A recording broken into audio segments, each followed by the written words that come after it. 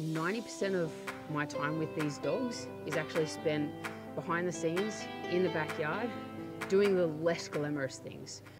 Hi, I'm Jazz Whiting, and this is Prime.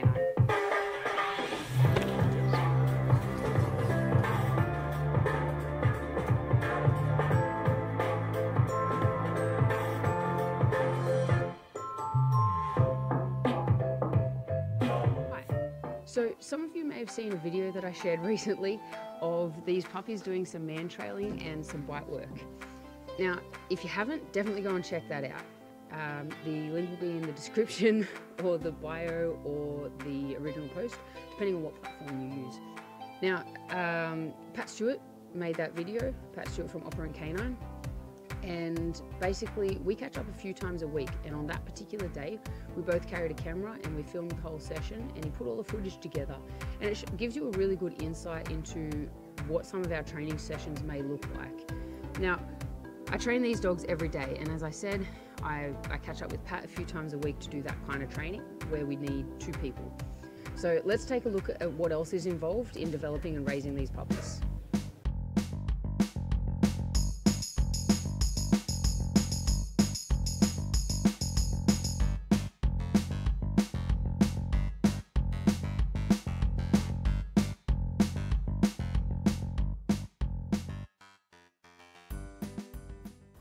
Trimming nails is something that I do regularly.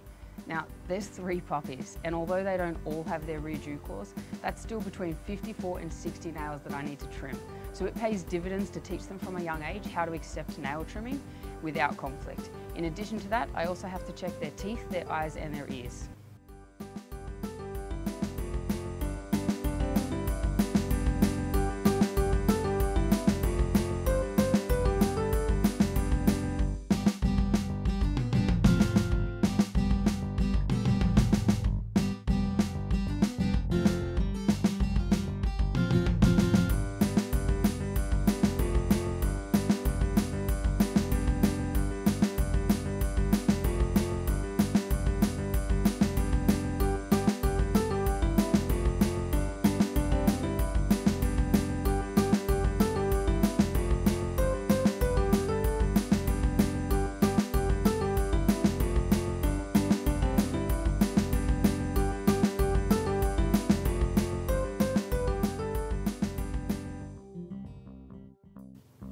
Each dog has their own kennel, and although they're not in them 24 7, they still need to be cleaned daily. So that means picking up poop, hosing, scrubbing, and disinfecting them.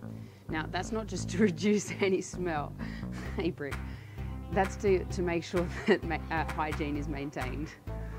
Hey, good boy, bud.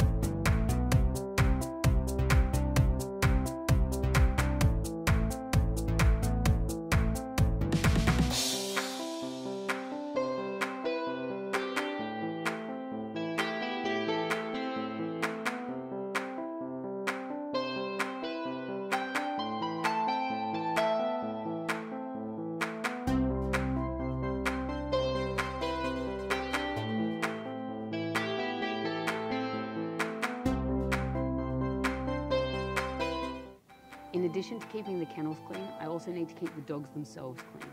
So that involves brushing them and washing them regularly.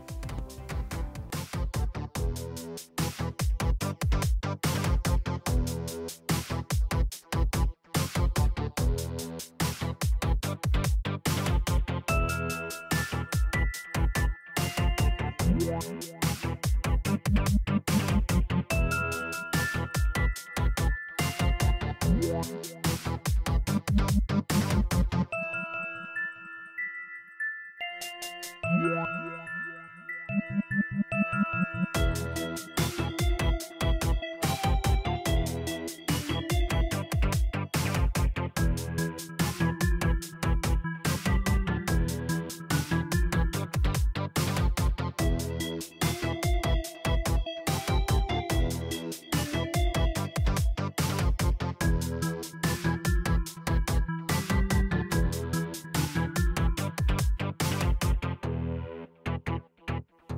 One of the most important jobs that I do every day for these dogs is filling up their water buckets.